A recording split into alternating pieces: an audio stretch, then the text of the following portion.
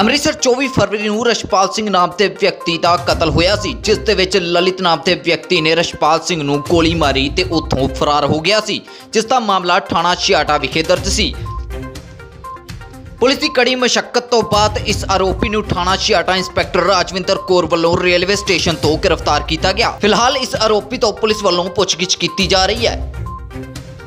ਇੱਕ ਰਸ਼ਪਾਲ ਸਿੰਘ ਨਾਂ ਦਾ ਲਾਡੀ, ਏਲੀਅਸ ਲਾਡੀ ਸਾਨੂੰ ਬੂਟਾ ਸਿੰਘ ਇਹ ਹਰਪਾਲ ਐਵੀਨਿਊ ਕਲੋਨੀ 'ਚ ਰਹਿੰਦਾ ਸੀਗਾ। ਇਹਦਾ ਇੱਕ ਦੋਸਤ ਸੀ ਜਿਸ ਦਾ ਨਾਮ ਲਲਿਤ ਕੁਮਾਰ ਹੈਗਾ। ਇਹ ਆਪਸ 'ਚ ਪਹਿਲਾਂ ਇਹਨਾਂ ਦੇ ਰਿਲੇਸ਼ਨ ਸੀਗੇ। ਇਹ ਇਹਦੇ ਘਰ ਗਿਆ ਤੇ ਇਹਦੀ ਪੈਸਿਆਂ ਦੇ ਲੈਣ ਦੇਣ ਤੋਂ ਕੋਈ ਤਕਰਾਰ ਹੋਇਆ ਇਹਦਾ। ਉਹਦੇ ਤਕਰਾਰ ਦੇ ਖੱਤ ਕਰਕੇ ਇਹਨੇ ਉਹਦੇ ਗੋਲੀ ਮਾਰ ਦਿੱਤੀ ਸਿਰ ਦੇ ਵਿੱਚ, ਜਿਹਦੇ ਨਾਲ ਉਹਦੀ ਮੌਕੇ ਤੇ ਮੌਤ ਹੋ ਗਈ। ਤੇ ਲਲਿਤ ਕੁਮਾਰ ਜਿਹੜਾ ਇਹ ਮੌਕੇ ਤੋਂ ਫਰਾਰ ਹੋ ਗਏ ਅੱਜ ਅਸੀਂ ਇਹਨੂੰ ਅਰੈਸਟ ਕੀਤਾ। ਸੀਕ੍ਰੀਟ ਇਨਫੋਰਮੇਸ਼ਨ ਤੇ ਸਾਨੂੰ ਪਤਾ ਲੱਗਾ ਕਿ ਇਹ ਰੇਲਵੇ ਸਟੇਸ਼ਨ ਮੇਨ ਤੇ ਖੜਾ ਜਿੱਥੇ ਬਾਹਰ ਦਿੱਲੀ ਦੀ ਟ੍ਰੇਨ ਲੈਣ ਦੀ ਤਿਆਰੀ ਕਰ ਰਿਹਾ।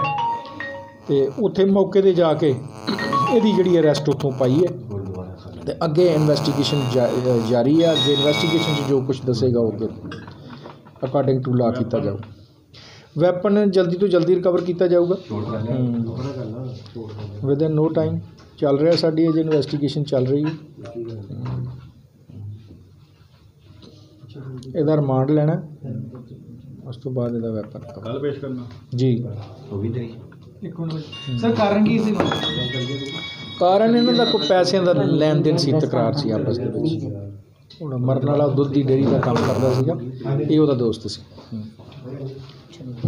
ਕੈਮਰਾਮੈਨ ਸੁਣਸੁੜ ਦੇ ਨਾਲ ਵਿਸ਼ਾਲ ਸ਼ਰਮਾ ਲਾਈਵ ਅੰਮ੍ਰਿਤਸਰ।